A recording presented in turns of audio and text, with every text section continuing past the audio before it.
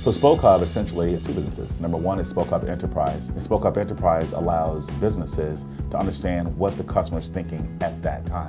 And then Spoke Social, we essentially brought chat rooms back. The true need for engagement has never gone away. We're giving users a chance to engage with other folks that are watching the same things they are or feeling the same way about a topic in real time. We want to make that voice heard with folks that are really in that same movement and in that same moment. The Frontier is an ideal location for companies in our stage to really come together with like-minded companies to have a space to collaborate and really build a community. We are a Durham-based company. We want to stay true to our roots, true to who we are. And in choosing RTP um, and choosing the Frontier in particular, RTP is well known. They're world renowned. It just makes sense to be in the Research Triangle Park. The thing I love most about the Frontier is that they really, really do a good job of allowing businesses to come together and really collaborate and form that community.